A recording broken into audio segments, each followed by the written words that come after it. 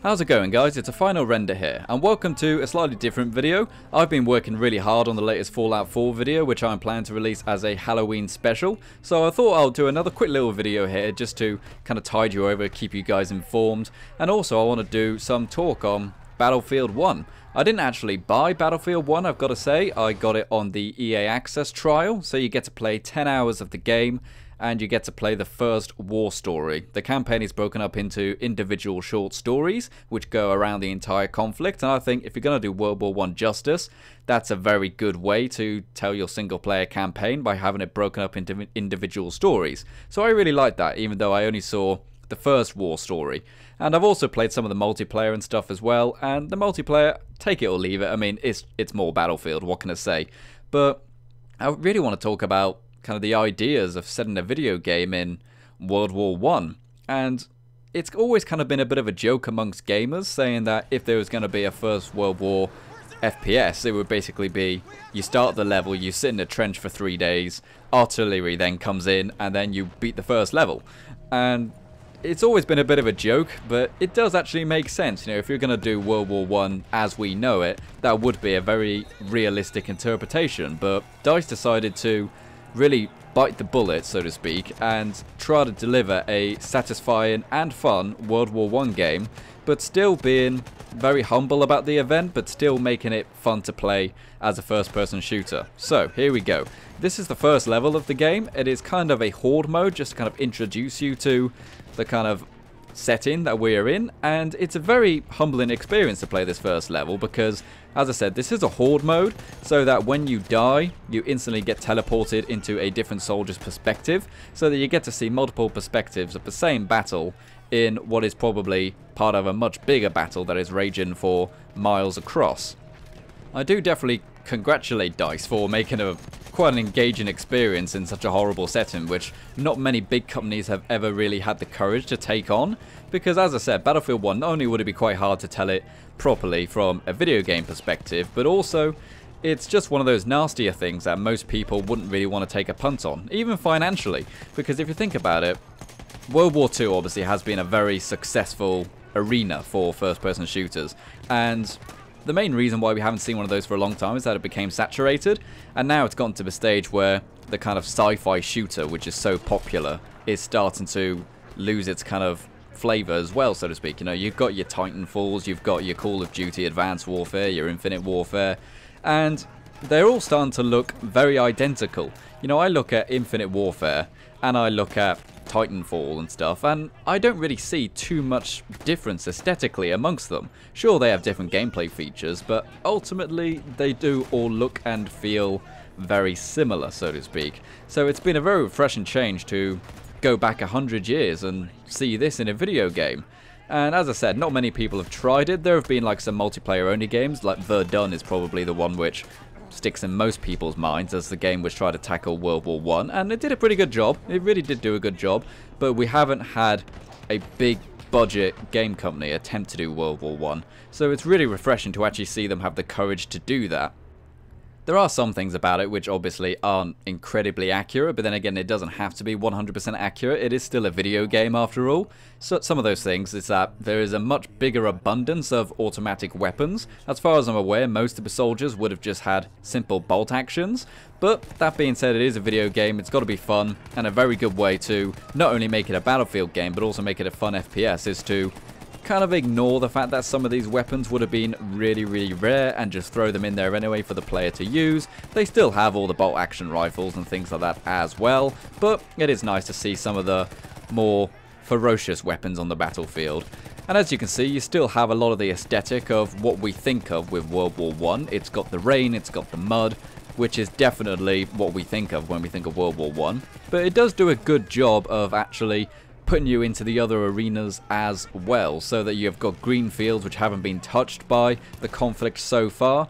It was really impressive to see your soldiers slowly advance through the mud and the rain until eventually you push just a little bit more forward than they have before and all of a sudden you're in fields which have green in them. There's no mud and rust everywhere, and it was really impressive to kind of see how they illustrated the idea of you are pushing forward. I think they really did a good job with that. And obviously from a technical perspective, it is extremely impressive.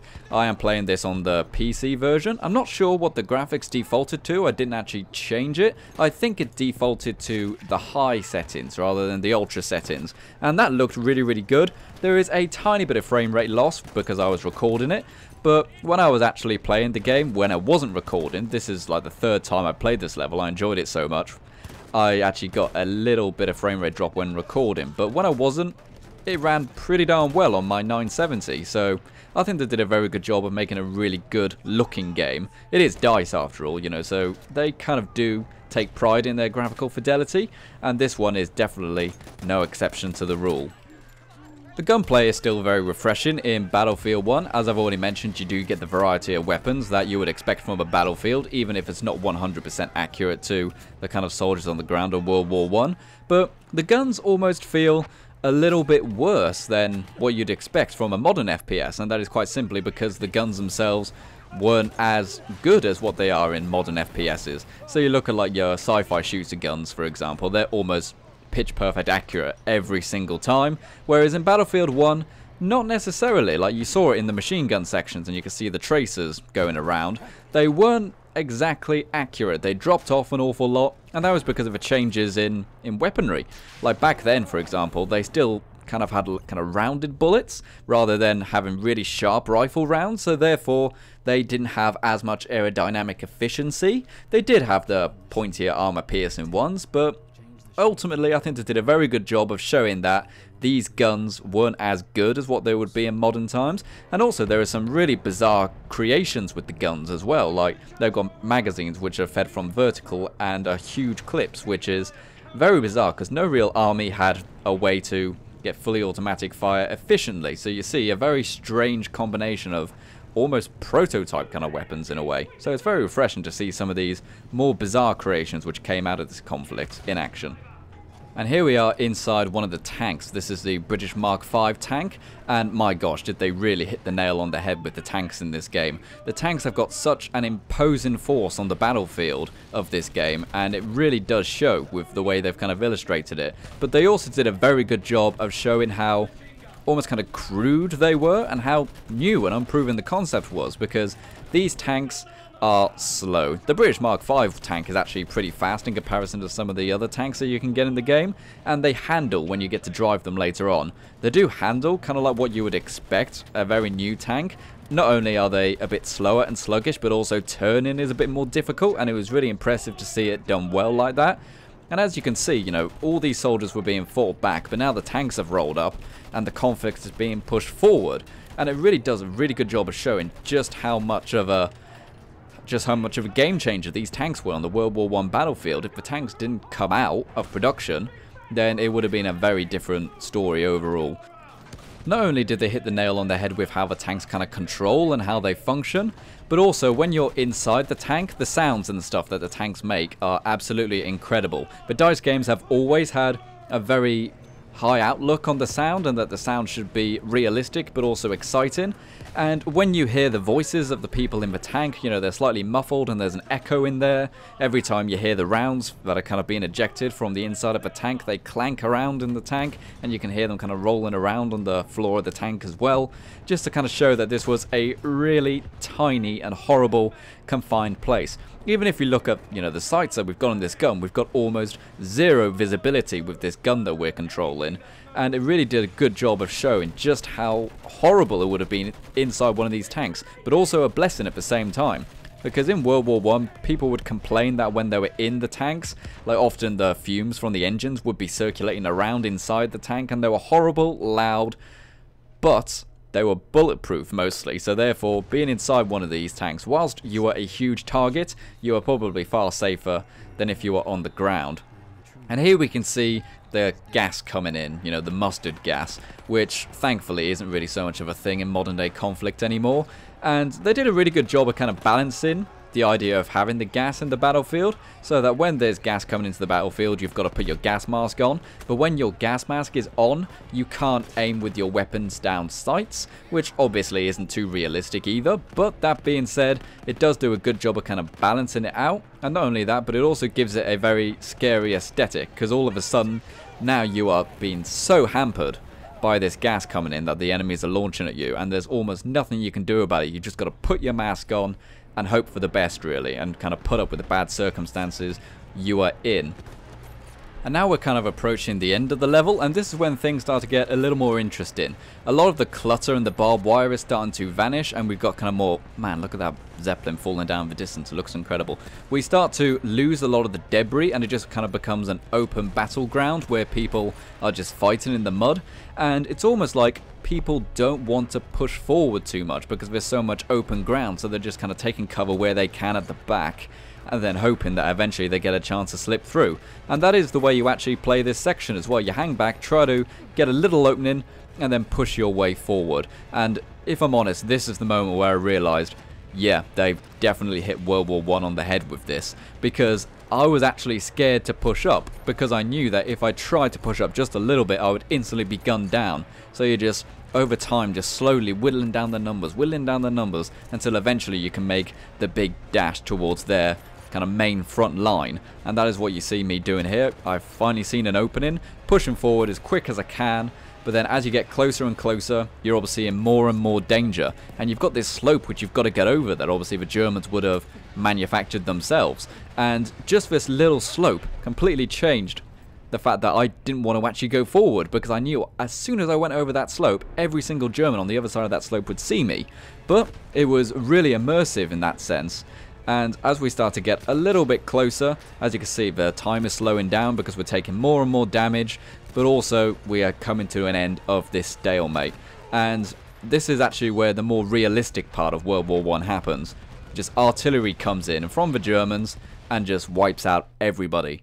And they did a really good job of nailing the fact that there was almost no kind of there was almost no kind of desire to save the troops. They just wanted to keep them back no matter what it took. So they just used artillery on their own men. But the idea was that you would also stop the push. And as I said, they just did such a good job of nailing this feeling of World War One. And I'm pretty much the main reason I'm making this video is because I wanted to commend DICE on having the courage to take on such a bizarre setting for a video game. And I also think it was about time, really. Not only have video games kind of become the medium that they deserve to be by having more and more budget and having more and more kind of graphical fidelity to actually tell stories and show things and almost be an educational tool in some sense. Because if you think about it, World War One actually wasn't that long ago. It was a hundred years ago, and well, slightly over if you're looking at the beginning. And it's been very bizarre to actually see it being done in a game and it being respected. Not only would it be very hard to make it in a game and make it compelling, but also there is also that idea is that it's something maybe people didn't want to touch.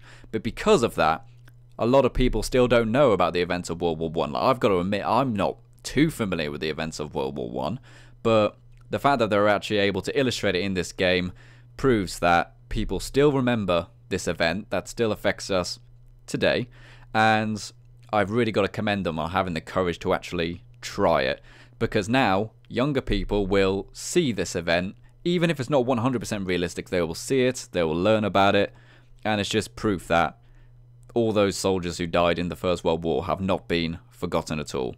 So, as I said, this has been a kind of a casual video, and I'm not too sure if I'll do many more like this. In closing, I don't know if I'll buy Battlefield 1, because as I said, the multiplayer, eh, I'll take it or leave it. I liked the operations mode, but the kind of standard conquest and stuff, it's just standard Battlefield. But if you enjoyed this video, let me know. I might do kind of more reviewy stuff like this if it works well. But as I said, it was just kind of relaxed.